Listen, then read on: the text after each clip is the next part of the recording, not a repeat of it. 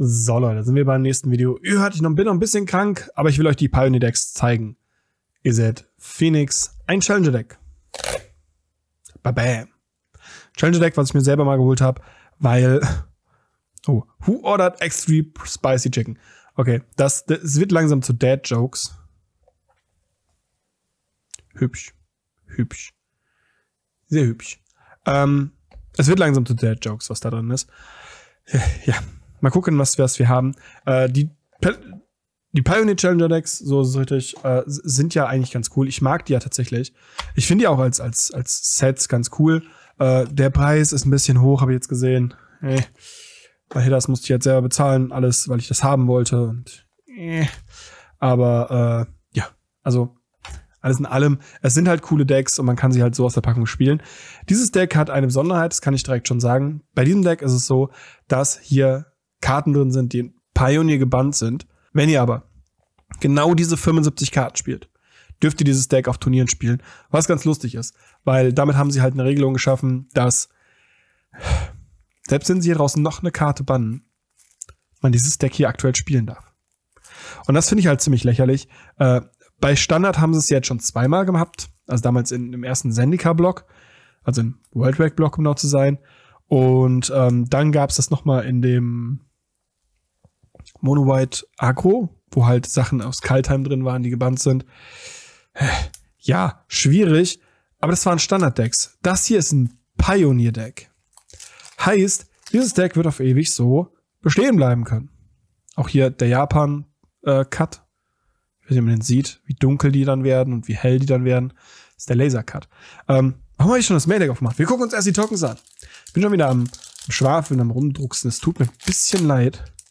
Äh, machen wir mal, machen wir mal auf. Äh, Müll weg.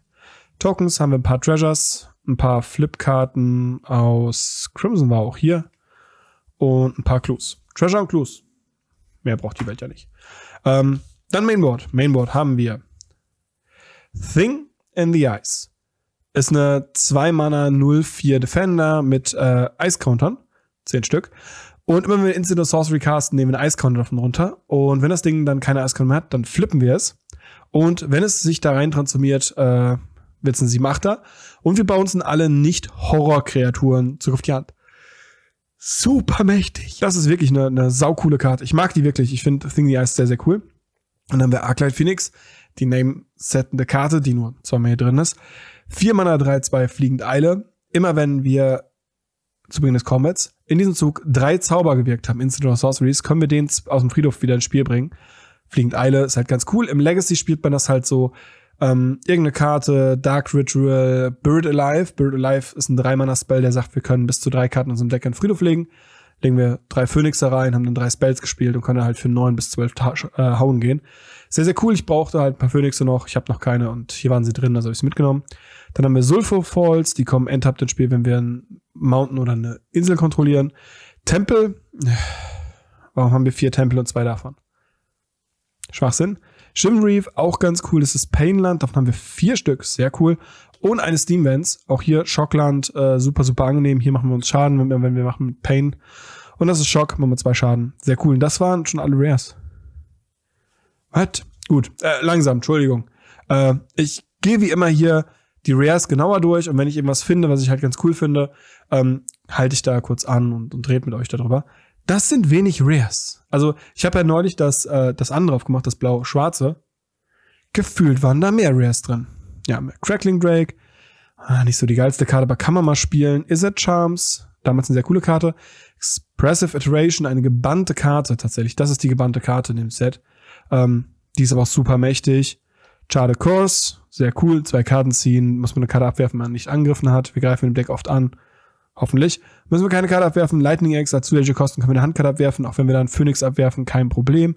Fiery Impulse, zwei Schaden an der Kreatur. Wenn wir drei oder mehr Instant Sorcery drin haben, macht er drei Schaden. Das ist ähm, leider nur Kreatur, nicht Spieler. Hm. Flame Blast Bolt, zwei Damage auf eine Kreatur oder Planeswalker. Und wenn die Kreatur oder Planeswalker in den Friedhof geht, exilieren wir ihn stattdessen. Consider, mehr Consider. Place at Consider. Treasure Cruise. Treasure Cruise ist legal in Pioneer. Wow. Ähm, ja, Treasure Cruise. ein blaues, sieben farblose mit Delph. Wir können Karten aus dem Friedhof exilieren, die Mana-Kosten günstiger zu machen und ziehen dann drei Karten. Wow. Sick. Dann noch Opt. Playset Opt. Ist ganz cool. Piece of the Puzzle. Auch ein sehr mächtiger Zauber. Äh, für drei Mana gucken wir uns die obersten fünf Karten unseres Decks an, beziehungsweise revealen die, nehmen zwei Instant oder Sorceries davon auf die Hand und äh, legen den Rest in unseren Friedhof. Ist ganz cool, damit können wir halt einen Phoenix in den Friedhof legen, können Opt und Consider kriegen. Zwei Spells spielen, haben wir drei Spells. Easy peasy. Ein Spell macht drei Spells. Inseln, Mountains. Gefühlt sind da keine Rares drin. Also das finde ich krass. Also gerade weil das ja eins der teuersten Decks ist, finde ich das gar nicht mal so gut. Ich bin ein bisschen, bisschen enttäuscht bisher. Gucken wir mal, was das Sideboard zu bieten hat. Hm. Hm, ich hoffe mal mehr. Wir haben Sweltering Sun. Zwei rote, ein farbloses. Wir fügen x drei Schaden an jeder Kreatur zu. Cycling. Okay. Abrade, gute Karte. Abrade, gute Karte. Lava Coil, auch gute Karte. Mystical Dispute als Counter. Vier Stück, okay. Inverse Surgery, auch ganz gut. Drei Nassets. Schreibt mir mal bitte in die Kommentare, ob ich mir das einbilde, dass in dem anderen Deck viel, viel mehr Rares drin sind und das auch viel, viel besser aufgebaut ist. Das hier ist ja, das sind halt, ja, ich habe sogar die Karten vorgelesen und ich bin hier halt bin Minuten durch. Das wirkt, das wirkt nicht richtig. Das wirkt nicht wie das Pioneer Deck. Das ist sehr schade. Also auf der Liste sah es doch einigermaßen Pioneer-mäßig aus, wenn ich so die Liste mir angeguckt habe. Aber jetzt so im Nachhinein, beim Öffnen muss ich sagen, das ist ein bisschen underwhelming. Das finde ich gar nicht so krass. Da würde ich mir eher das Blau-Schwarze holen.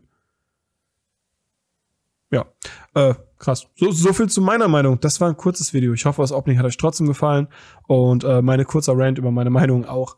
Und ich hoffe, ihr habt Spaß. Wir sehen uns beim nächsten Mal. Bis dahin, Ablex Ciao, ciao.